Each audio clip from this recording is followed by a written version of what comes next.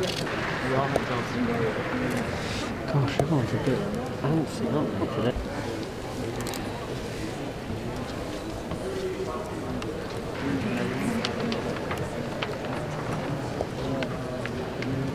it's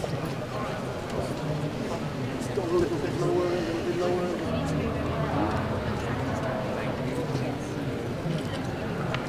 I feel like Little Amal is a beautiful representation of all the little girls that couldn't make it here today. Her in herself, she represents young girls who have had to make that hard migration journey and who are living within a broken system that have forgotten about them, that have marginalized them. And so having her here today on Gender Day, I feel like is so important to remember these, these young voices in this conversation.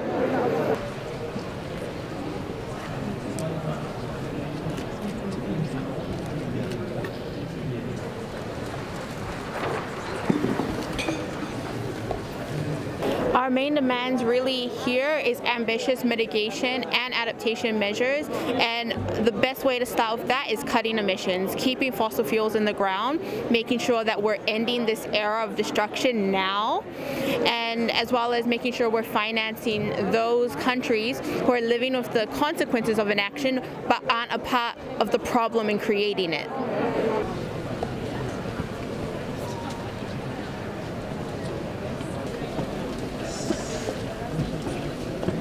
I think she